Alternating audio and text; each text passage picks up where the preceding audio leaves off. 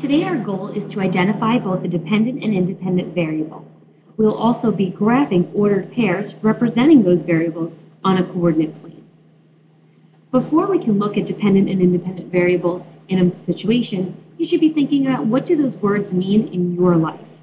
What does it mean to be independent? What does it mean to be dependent? Maybe you thought about your parents and said that your parents are independent. They're self-sufficient. They do things on their own. I often think about adults as being independent. And what would it mean to be dependent? Well, someone who's dependent would rely on others.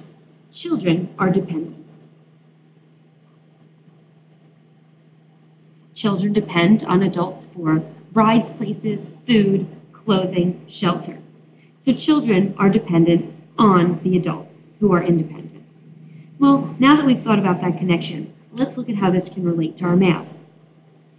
In this example, it says a meerkat's height changes throughout the first 20 months of life. How tall is the meerkat after a certain number of months? Well, there are two variables in this situation, two things that can change. The height changes, and the months of life change.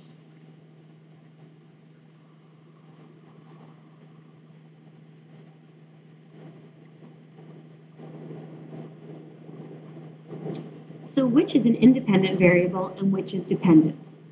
The dependent variable depends on the independent variable. The independent variable changes on its own. Another way to think about this is to think what must occur for the other to occur. Well, I know that months must pass in order for the meerkat to grow or change height. So the independent variable will be the months. As the months change, the height changes, it increases. So I know that the dependent variable will be the meerkat's height.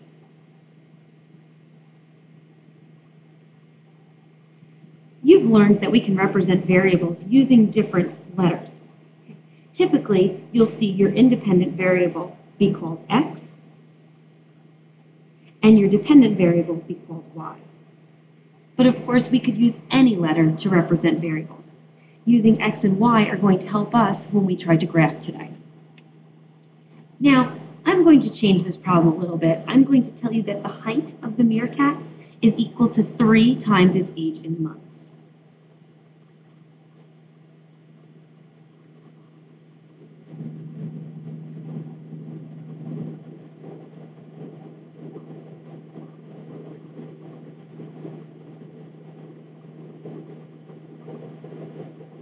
Well, since we've said 3 times age in months, and the months are represented with x, we can make a rule for this as height is equal to 3x. You'll notice on your paper that I have function tables drawn in two different ways. We've called these function tables, we've called them input-output tables. They can be held horizontally or vertically. So I'm going to start by putting my two variables into the table.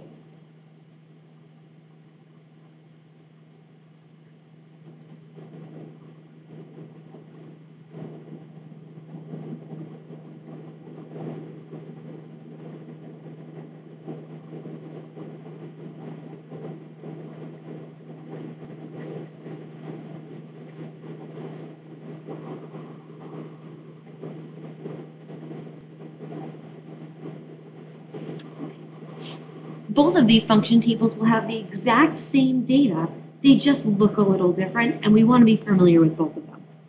So let's fill in some values for x. I'm going to use one month of life, three months, and five months for our meerkat. Let's determine what the height will be after these amounts of time. Well, if one month has passed, and my rule is three times the number of months will give us the height, then three times one is three.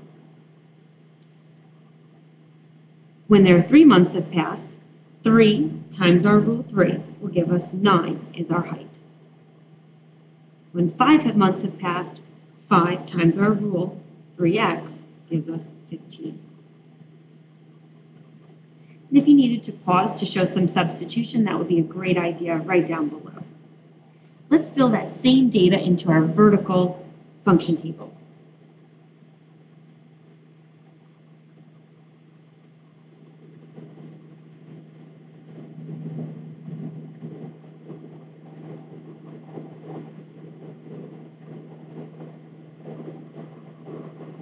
Okay.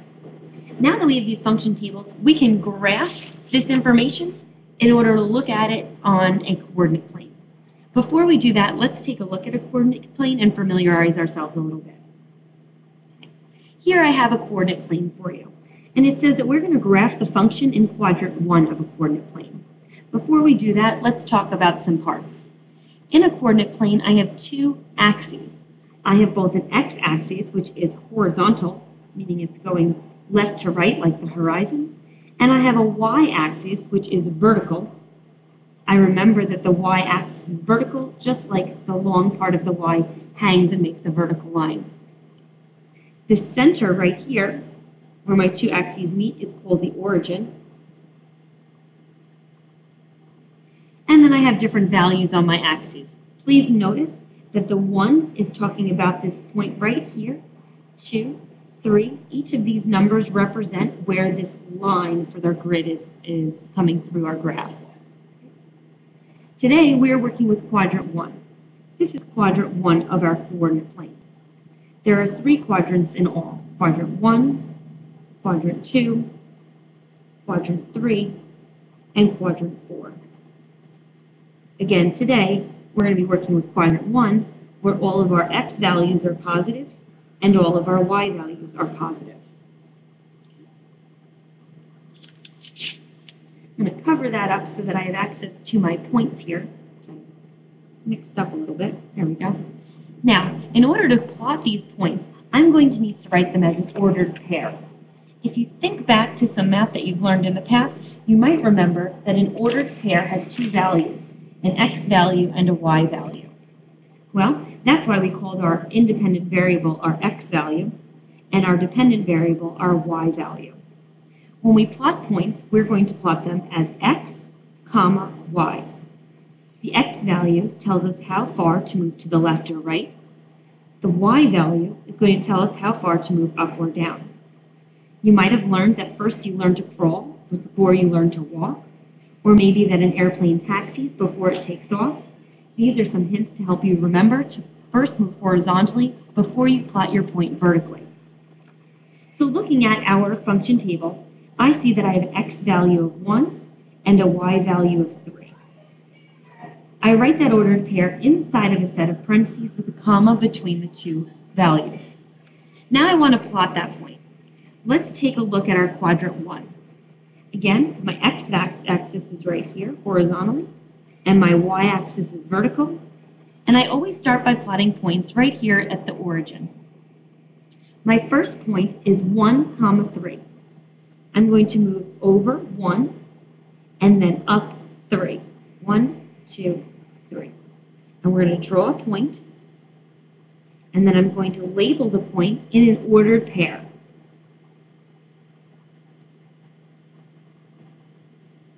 Let's graph the next point. X value is 3. The Y value is 9. And again, we're going to plot this 3, comma, 9. So I'm going to move over 3. 1, 2, 3. And up 9. 1, 2, 3, 4, 5, 6, 7, 8, 9. Notice when I'm plotting that point that it's lining up with the 9. It can be helpful to draw these little loops as you count to make sure you're in the right place. And of course, I'm going to label that point with its coordinates, 3, comma, 9. Our last ordered pair is 5, comma, 15. If you'd like to pause the video, you can plot that one on your own. I'm going to move over 5, 1, 2, 3, 4, 5 and then up 15.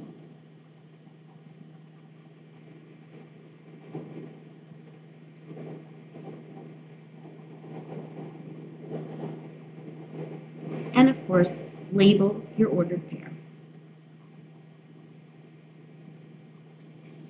Now I've plotted the way that my height, my height of the meerkat is changing over the time in months. I can see that in one month, the meerkat is 3 inches tall.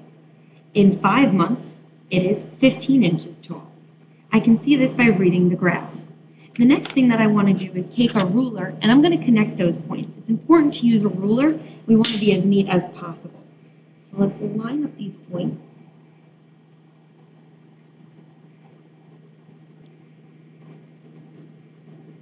I'm holding it down with both fingers. And I'm going to put arrows at both ends. Because I was able to connect the points and make a straight line, that tells me that this is a linear relationship. Linear meaning it makes a straight line. I drew this straight line because this allows me to make some predictions about the meerkat's height. For example, right here, I can see that my line crossed through the point 1, 2, 3, 4, comma, 12.